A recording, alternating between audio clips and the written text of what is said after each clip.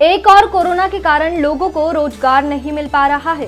तो दूसरी ओर दुकानदार महँगे दामों में सामग्री बेचकर लोगों की जेब ढीली करने में लगे हुए हैं। इसकी सूचना जब तहसीलदार को मिली तो वह मौके पर पहुँचे और दुकानदारों पर कार्रवाई की।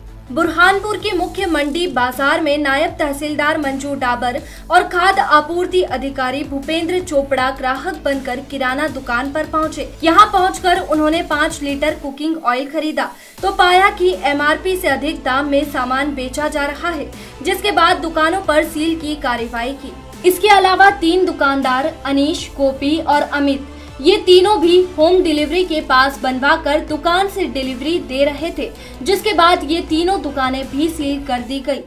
एम आर पी सात सौ पंद्रह थी तो उन्होंने सात सौ पचास रूपए लिए जो ऑयल का जो पाँच लीटर क्या कर रहे हो अभी? क्या कार्रवाई होगी अभी तो दुकान सील हो गई खबरों के हर पहलू पर है हमारी नज़र। सलीके से दिखाते हैं हम सच्ची खबर। एक ही ऐप पर आपको मिलेगी देश, दुनिया की हर खबर।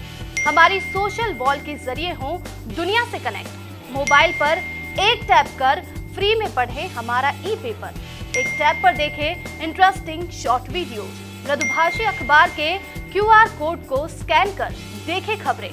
अभी इंस्टॉल करें मृदुभाषी ऐप।